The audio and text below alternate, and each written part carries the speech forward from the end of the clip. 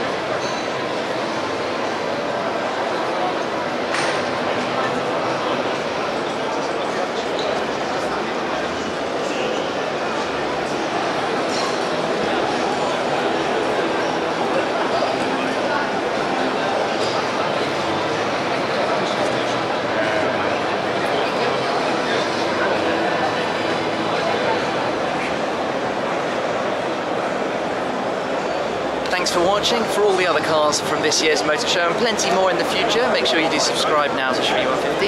That's it for now. I will catch up with you again very soon. Cheers.